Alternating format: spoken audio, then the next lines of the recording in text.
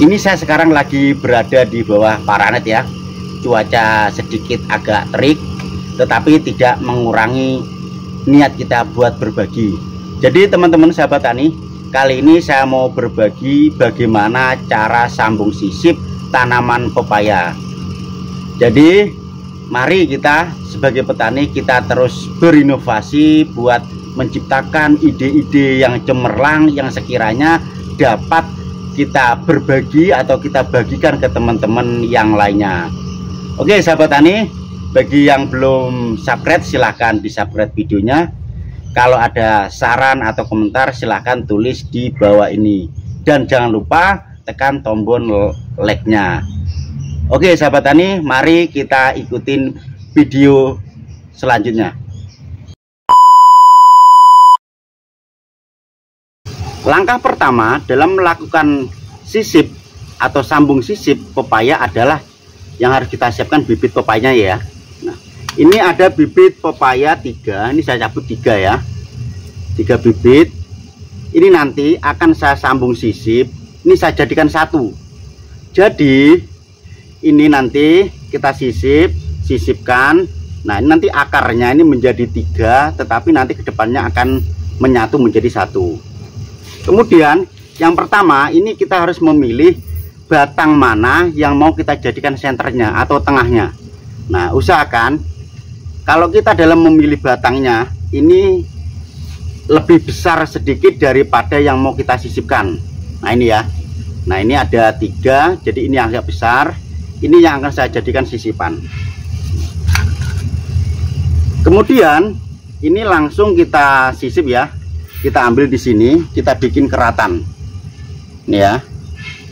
Ini keratan nanti di sini baru nanti di sini satunya. Ini keratan pelan-pelan aja. Jangan sampai patah ya.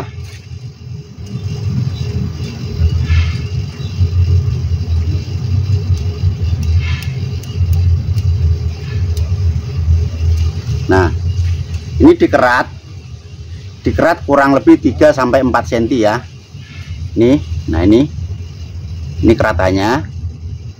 3 sampai 4 cm kemudian kita ambil satunya. Nah ini kita ukur ya. Panjangnya di sini kita ukur seberapa panjangnya. Nah ini segini. Kita potong ya. Kita potong. Baru ini kita sayat ya. Kita sayat. Hmm, seperti ini. Baru belakangnya kita sayat lagi. Nah hasilnya seperti ini. Kemudian setelah seperti ini ini tinggal kita masukkan sini ya. Ini ya.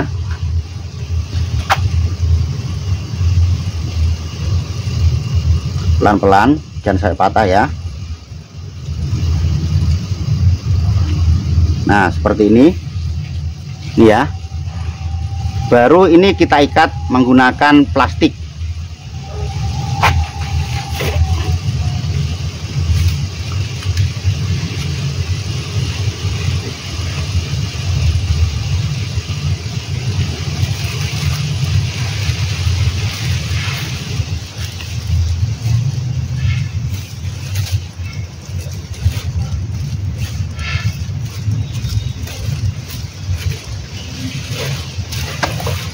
ini kita ikat ya. Menggunakan plastik.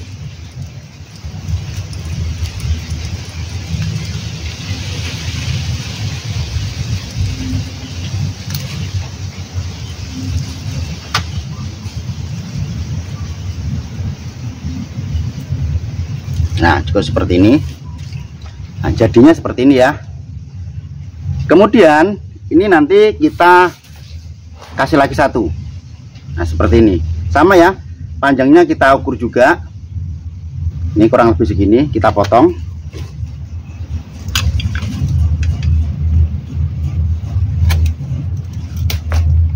Nah ini kita sayat lagi. Sama kayak tadi ya kita sayat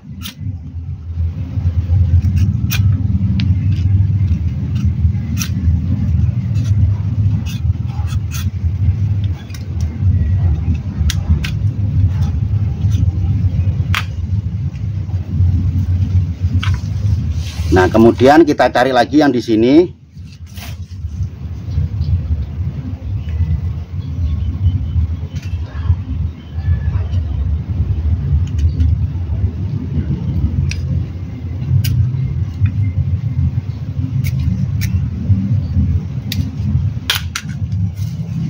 Ini ya.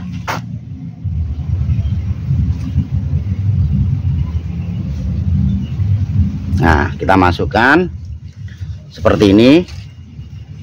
Ini. Ini ya. Baru kita ikat lagi menggunakan tali. Tali plastik atau kalau mau menggunakan tali rapia juga bisa. Nih.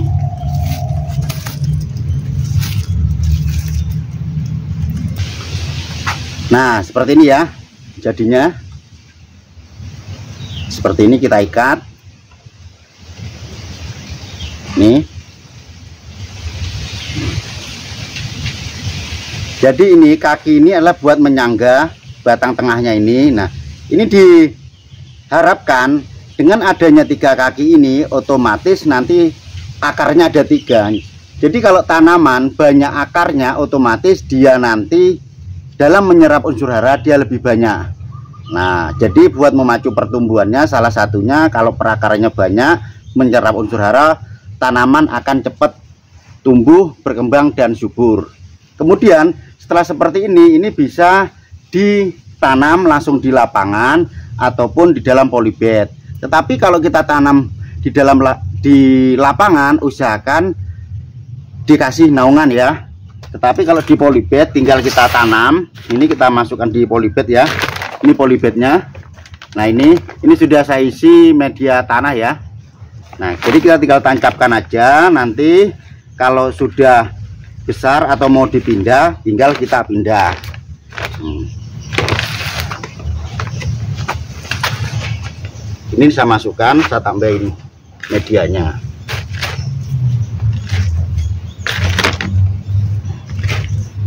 Usahakan dalam pencampuran media ini adalah media yang subur ya supaya tanamannya cepat tumbuh dan berkembang ini saya menggunakan ini campuran tanah kemudian kohe dan arang sekam